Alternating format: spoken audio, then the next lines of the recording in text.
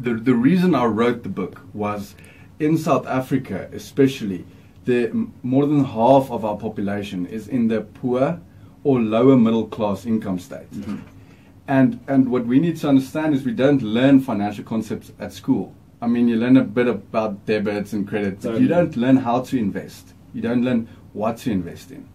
And we rely on our parents and our family and our friends to learn financial concepts. Yeah.